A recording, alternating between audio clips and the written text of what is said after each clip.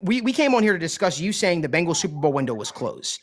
By us talking about 26, that means you would be agreeing with me that their Super Bowl window is still open for the next two years, which makes your initial claim that the Bengals Super Bowl. Well, no, I'm not agreeing with you because I told you why. I said because of the youth of the secondary, the inability to stop the run, and the absolute gauntlet of AFC. Those are my reasons.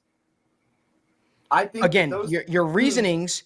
The youth in the secondary is not a tangible reason because you're going off of just not having seen it yet, right? That could be dispelled in by week five now you're talking about um, the teams in the AFC when a lot of the teams in the AFC have a lot more questions than maybe the Bengals do. To be quite honest with you, we don't know what the Jets look like. We don't.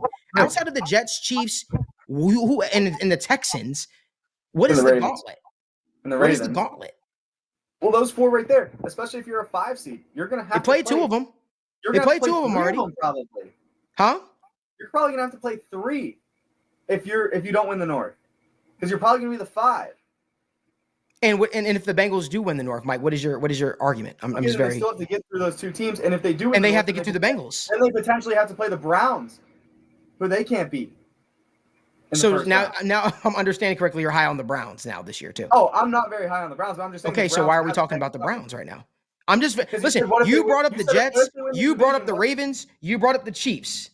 I, I said, I said they are going to have to play a team like the Browns if they win the division. You asked what if they win the division. I said, and well, let me ask you a question, Mike. Do you think those teams that you just named want to play the Bengals?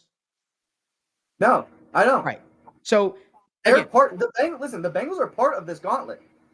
Only one team can come out of this, and they've proven that they can. They're the only team. They're the only team that you named outside the Kansas City Chiefs that have proven that they could actually run the gauntlet in beating the Chiefs as well. They're the only team. That's right. So right, again, that's one year. It's one singular year. So n- no, they they ran the gauntlet twice. They they they, they just happened to, to lose. They just happened they, to lose with practice squad players on the offensive line, right?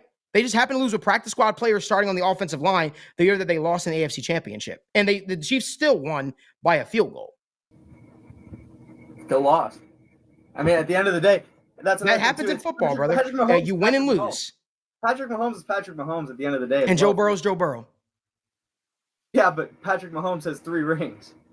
That's so, that's fine. Again, listen. All I'm saying is, and, and listen, I have no no disrespect towards Patrick Mahomes, but we're not discussing Patrick Mahomes' ring. We're discussing the Bengals' window, quote unquote, being closed. And what all right. I'm saying is, the Bengals have been the only team that have proven outside of the Chiefs that they could actually make it that far. The the, the Bills window it seems like their their window is closed. The Jets, yeah, the Bills are done. The Ravens haven't done anything, right? They, they have the, the bed every single time they're in the playoffs. So when we're talking about it, you got to put more respect on the Bengals name. Like, can we at least agree with that? That you got to put more respect I, on the Bengals I, name. I can I can agree with that.